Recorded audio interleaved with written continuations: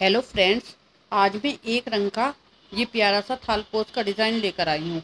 ये बनाने का तरीका मैं आपको बताती हूँ। सबसे पहले हम एक, दो, तीन, चार चेन बनाएँगे। चार चेन बनाकर इसको पहली चेन से ऐसे जोड़ेंगे। अब हम दो चेन बनाएँगे और इसमें बारह डबल क्रोशी डालेंगे। एक, दो, इसको हम ऐसे खींच के थोड़ा टाइट भी कर सकते हैं। दो, तीन, ऐसे हम इसके अंदर बारह डालेंगे।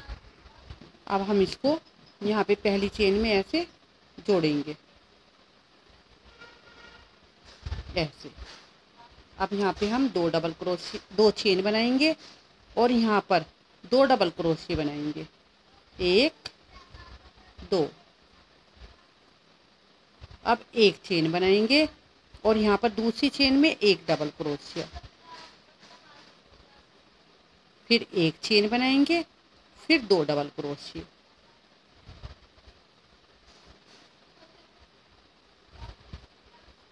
ऐसे। फिर एक चेन फिर एक डबल क्रोशिया इसमें हम कोई भी नीचे चेन छोड़ नहीं रहे हैं। फिर एक चेन फिर दो डबल क्रोशिए एक, दो। फिर एक चेन फिर एक डबल क्रोशिया इस तरह हमें ये छह कलियाँ बनानी। एक, दो, तीन, चार, पाँच छ छः तो दो दो डबल क्रोशिए वाली और छः ही ये एक एक डबल क्रोशिए वाली। इस तरह देखो। इस तरह। ऐसे। अब हम इसको यहाँ पे ऐसे जोड़ देंगे।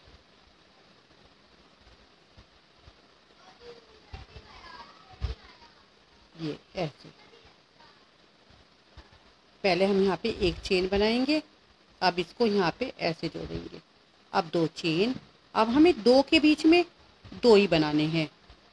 जहाँ हमने दो डबल क्रोशी किए थे, ये हम जितने भी बड़ा थाल पोस्ट बनाएँगे, उनके बीच में, हमें दो के बीच में दो ही बनाने हैं। अब हम एक चेन बनाएँगे। जहाँ हमने एक बनाया था, वहाँ पे एक तो हम यहाँ इसके बराबर में ऐसे बनाएँगे और एक इसके बीच में बनाएँगे और एक यहाँ पे बराबर में। एक के ऊपर हमारे तीन हो गए हैं। फिर ऐसे ही एक के ऊपर पाँच हो जाएँगे। अब एक चेन बनाएँगे, फिर दो के बीच में दो बनाएँगे। एक दो फिर एक चेन बनाएँगे, फिर ऐसे ही एक के ऊपर तीन बनाएँगे। एक,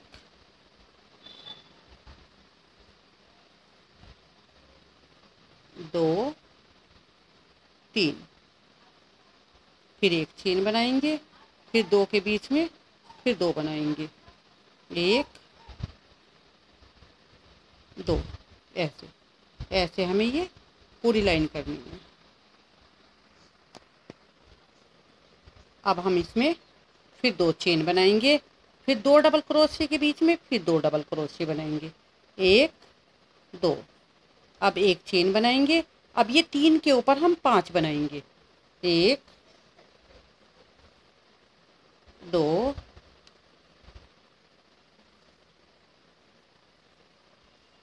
तीन,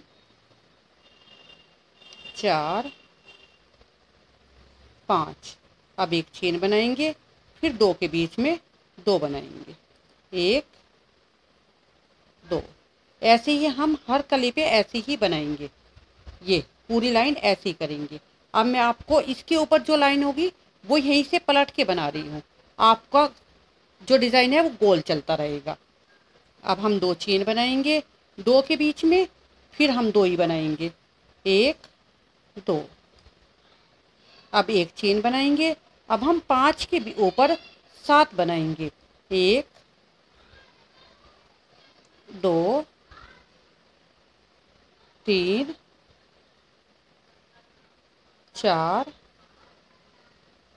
पाँच छ और एक जो हम एक चेन बनाते हैं, इसके यहाँ बराबर में बनाते हैं, सात। अब एक चेन बनाएँगे। अब दो के बीच में फिर हम दो ही बनाएँगे। एक दो। अब हम ऐसे पलटेंगे।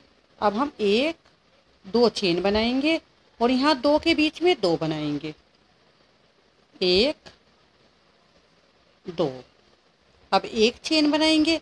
अब हम इस चेन के बीच में एक डबल क्रोशिया बनाएँगे।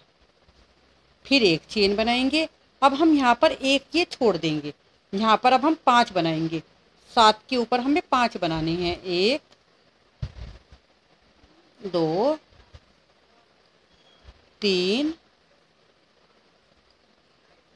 चार, पाँच।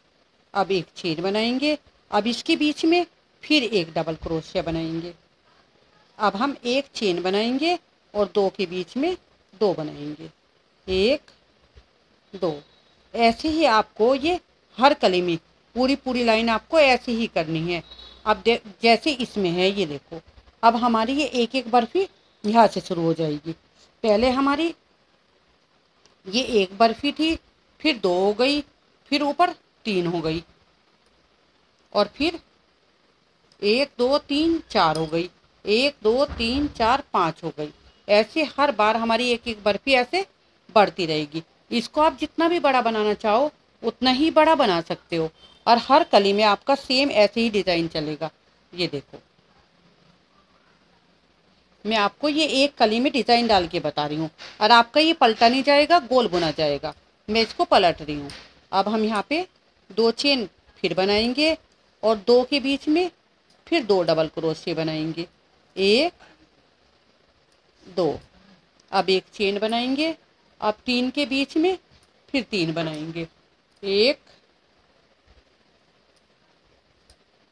दो। अब एक के बीच, एक के ऊपर हम तीन बनाएँगे। जैसे हमने यहाँ पे बनाए थे। अब एक चेन बनाएँगे। अब हमारे ये पाँच के ऊपर तीन रह जाएँगे। एक हम इधर से छोड़ेंगे, एक इधर से। एक, दो, तीन। अब एक चेन बनाएँगे। अब इसके ऊपर हम फिर तीन बनाएँगे।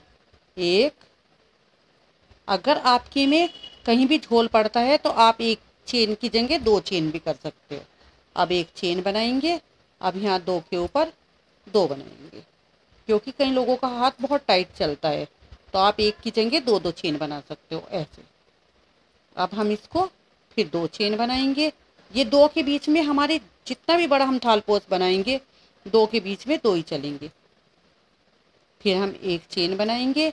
फिर यहाँ पे पहले हमारे तीन थे, अब हमारे यहाँ पे पाँच हो जाएँगे। एक दो,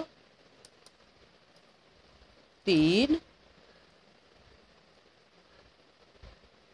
चार, पाँच। फिर एक चेन, फिर हमारा यहाँ पे एक बनाएँगे। ऐसे। फिर एक चेन और फिर तीन के ऊपर फिर हमारे पाँच हो जाएँगे। एक, दो, तीन चार, पाँच, फिर एक चेन और फिर दो के बीच में फिर दो। एक, दो, ऐसे।